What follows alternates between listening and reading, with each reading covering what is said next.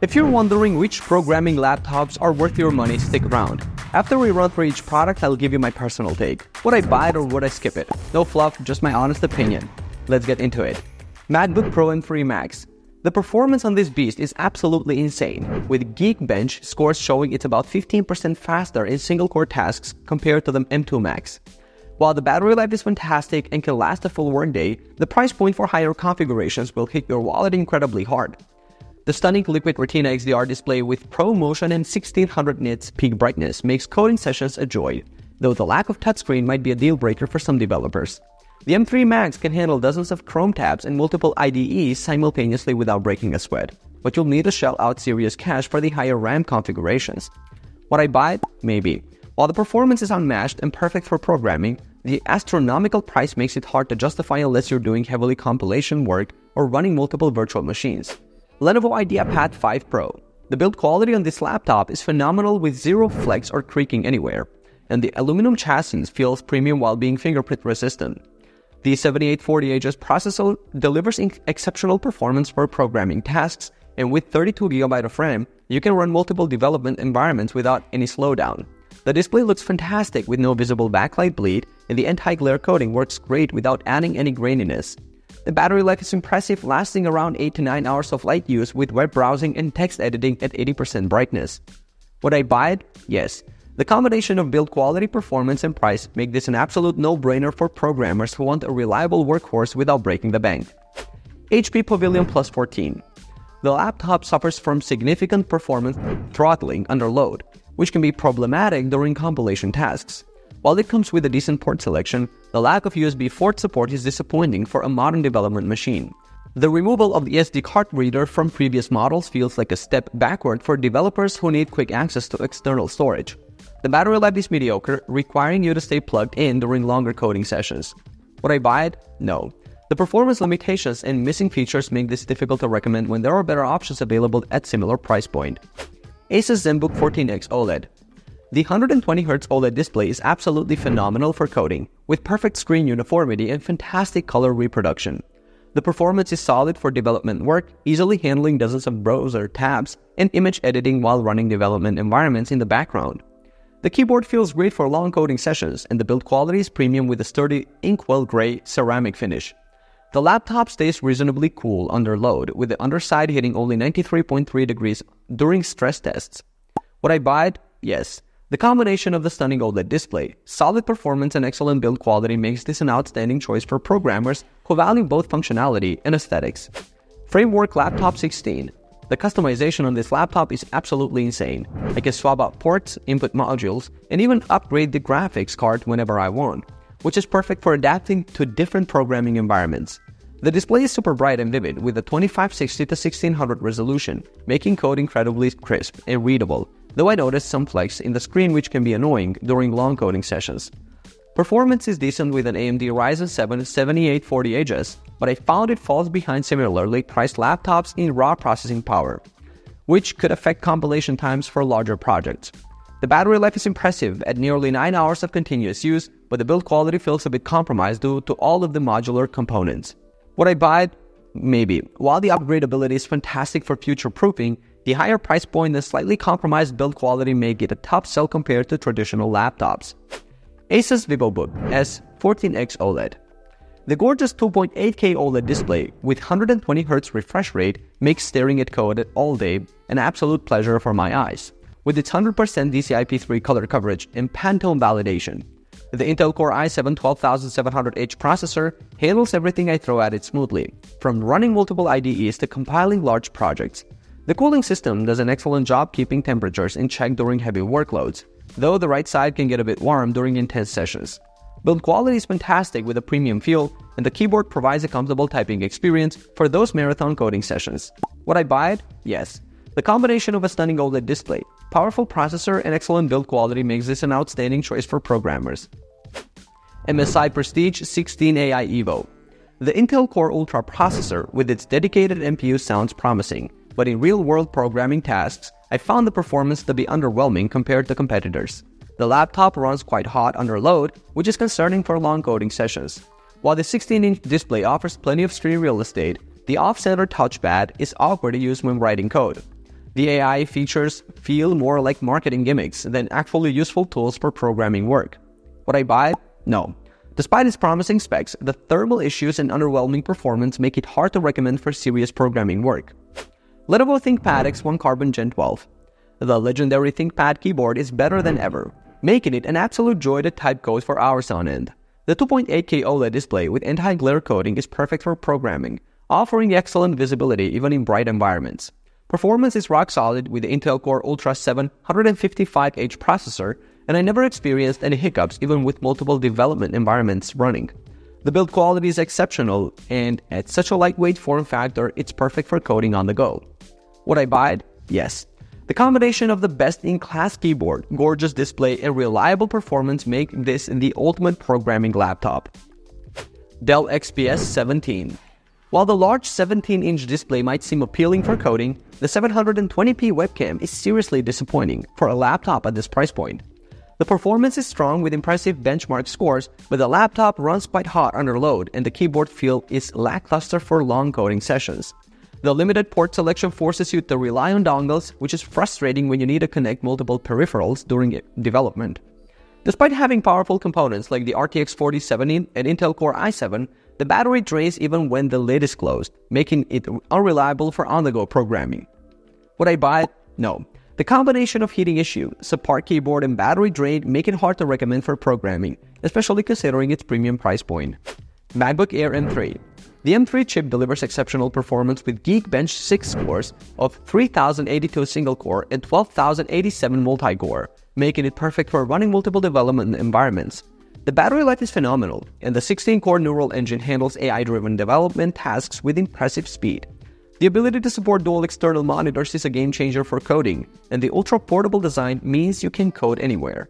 The bright and colorful 13.6 inch Retina display makes code highly readable, and the laptop handles over 30 open windows without breaking a sweat. Would I buy it? Yes. The combination of powerful performance, exceptional battery life, and dual monitor support make it an ideal choice for programmers who value portability and reliability. Asus ZenBook 14 Flip OLED. The 2.8K OLED display with 100% sRGB coverage makes code incredibly crisp and readable, though it does suffer from glare in bright environments. The keyboard provides a solid typing experience for coding sessions, and the laptop stays surprisingly quiet under load. While it handles day to day programming tasks smoothly, the device can run a bit hot under intensive compilation tasks. The 360 degree folding capability is neat but not particularly useful for programming, and the battery life of 6.5 hours might not get you through a full day of coding. Would I buy it? Maybe. While the display and keyboard are great for programming, the heat issue and battery life make it a conditional recommendation depending on your specific needs. Dell XPS 15 9520. The build quality is impressive with, a, with an aluminum and carbon fiber body, and the keyboard offers decent key travel for comfortable coding sessions.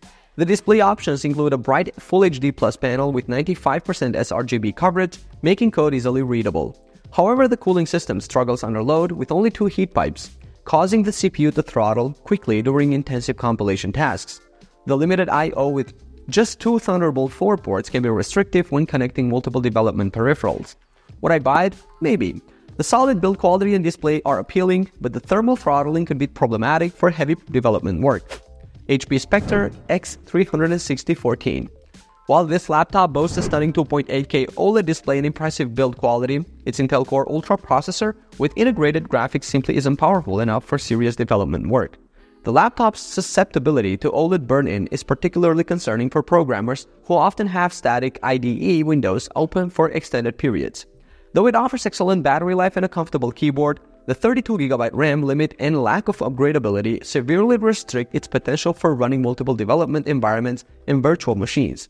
The 14 inch screen, while beautiful, feels cramped when working with multiple code windows or documentation side by side. Would I buy it? No. The combination of integrated graphics, RAM limitations, and OLED burn in risk makes this a poor choice for programming work. Lenovo Slim 7i Pro X. The full power Intel Core i7 12700H processor and dedicated graphics make this machine a powerhouse for compilation and running multiple development environments simultaneously. The innovative 14.5 inch display with its 16 to 10 aspect ratio and 3072 to 1920 resolution provides ample screen real estate for coding, while the 120Hz refresh rate ensures smooth scrolling through long code files. The responsive keyboard is typical Lenovo quality, perfect for long coding sessions. And the aluminum build keeps everything sturdy and professional looking. The laptop stays remarkably cool and quiet during operation, which is crucial during those intense debugging sessions. Would I buy it? Yes. The combination of powerful hardware, excellent display, and superior build quality make this an ideal choice for programming work. Lenovo IdeaPad Gaming 3. Despite its gaming focus, this budget laptop's middling AMD processor and basic RTX 3050 graphics card struggle with resource-intensive development tools. The 256GB SSD feels extremely restrictive for maintaining multiple development environments, though there is room for upgrades. While the 120Hz display offers smooth operation, its poor color accuracy and low brightness make it difficult to read code for extended periods. The build quality feels cheap and the battery life won't get you through a full day of coding. Would I buy it? No. The limited storage, subpar display, and mediocre performance make this a poor choice for programming work. Microsoft Surface Laptop 5 the low-power Intel processors with integrated graphics severely limit this laptop's capability for running multiple development tools. While the 3 to 2 aspect ratio display is sharp and well calibrated, the 60Hz refresh rate feels sluggish when scrolling through code. The limited port selection with just one USB A and one USB C port makes connecting multiple peripherals a hassle. The CPU's performance drops significantly under sustained loads, which is problematic during lengthy compile sessions. Would I buy it? No. The weak processor, limited ports, and performance throttling make this unsuitable for serious programming work. Lenovo ThinkPad T14S Gen 6. The keyboard on this machine is absolutely world class, making those long coding sessions feel like a breeze. And the feather-like chassis means you can take it anywhere without breaking your back. The Snapdragon X Elite processor handles everything from complex spreadsheets to coding with impressive performance, and you're getting over 14 hours of battery life, which is perfect for those marathon debugging sessions. The laptop comes with 32GB of RAM and a 1TB SSD, giving you plenty of room for all your development environments and virtual machines. While some Windows programs aren't optimized for ARM architecture, 175 premium apps are currently supported, and the integrated NPU handles AI tasks efficiently. Would I buy it? Yes. This is a powerhouse for programming with incredible battery life and a top tier keyboard, making it perfect for developers who need reliability and portability.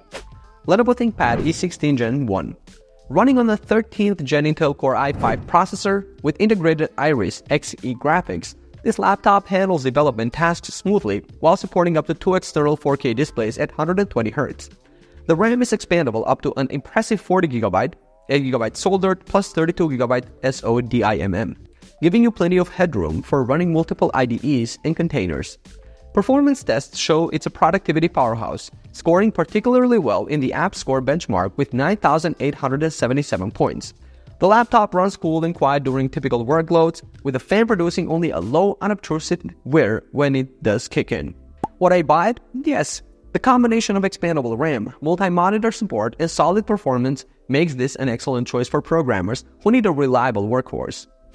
Razer Blade 15 while this laptop packs a powerful hardware with an Intel Core i7 12800H and RTX 3070 Ti graphics, it gets uncomfortably hot in the palm rest during intensive tasks. The build quality is premium with a streamlined, slim design and plenty of ports including a UHS 2 SD card reader, but you're paying a premium price that doesn't justify the value for programming needs. Battery life is mediocre at just over 5 hours of video streaming, though you can extend it by dropping to 60Hz refresh rate. The laptop offers expandable RAM and storage options, but the high price point and thermal issues make it hard to recommend for programming specifically. Would I buy it? No.